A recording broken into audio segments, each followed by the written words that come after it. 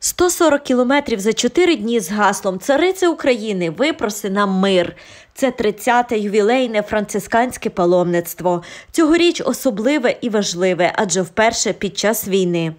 Багато ми сьогодні чули, що незважаючи на те, що війна, ми все-таки йдемо.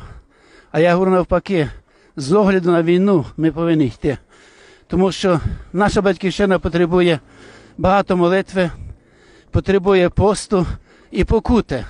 Ми цю покуту сьогодні добровільно приймаємо, несемо, щоб зложити на вівтар перед Божою матір'ю і просити про захист нашого народу від такої страшної нелюдської агресії, просити про той справедливий мир і про правдиву перемогу добра над злом. Зазвичай до тисячі учасників, а зараз менше півсотні. Серед них п'ятеро закарпатців. Чотирьох ужгородців зустріли прямо з потягу на вокзалі.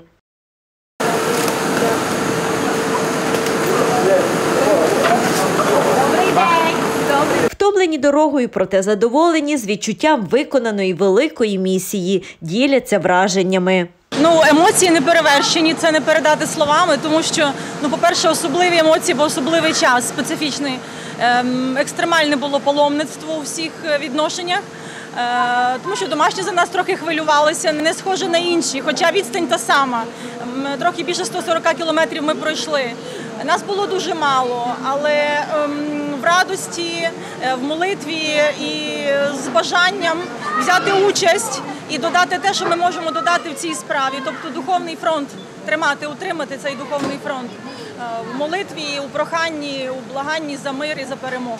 Ця компанія ужгородців вже вп'яте бере участь у паломництві. Кажуть, як тільки приїздять, відразу починають готуватися до наступного. Ми йшли за мир в Україні і з такими намірами. Ніхто навіть не звертав уваги, що в нього якась перевтома, якісь мозолі на ногах. Просто всі йшли з таким надихом. Важко теж, яка ситуація в Україні, от саме важко то. А так, все, слава Богу, все вроді добре. Ми йдемо, ми закалені, так що ми представники Закарпаття дуже такі видержані. Коли останній день, тобто суботу, як ми вже доходимо вже до самого Бердичева, як заходимо вже на межу Бердичева, і тоді все паломництво стає на коліна і починається молити. Це саме такий, просто не можу вам передати, яке це враження у людини, яке просто переповнює то все. 12 богопосвячених та 32 мирян. Обмежене паломництво біля святинь підносили руки до неба, єднаючись у молитві зі всією Україною та цілим світом. Отець Кирило Тополевський. Він є організатором і єпископ, е, ем, е, єпископ Станіслав Широкородюк. Він є і буквально можна сказати батько, який започаткував це паломництво. Він з нами всі чотири дні крокував, не дивлячись на погоду, на дощ, який нас перший день зустрів. Ми були всі мокрі, але дякуючи нашим братам-францисканцям знову, вони нас поїли гарячим чаєм, кавою, сухі роздавали сухі шкарпетки, які нам дуже були доречні, і ми всі їх щиро приймали ці подарунки.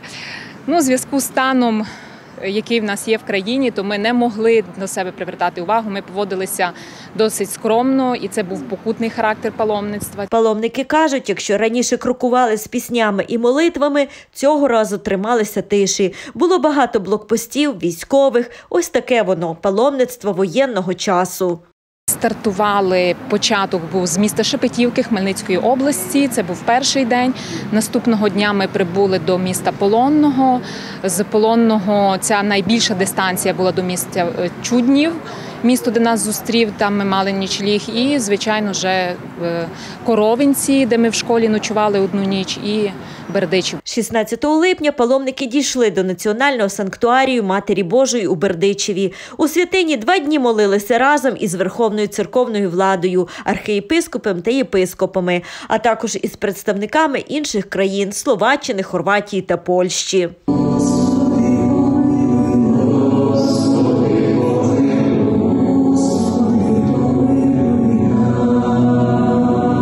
Кажуть закарпатські паломники в кінці, як завжди, не прощалися, а говорили до зустрічі наступного року.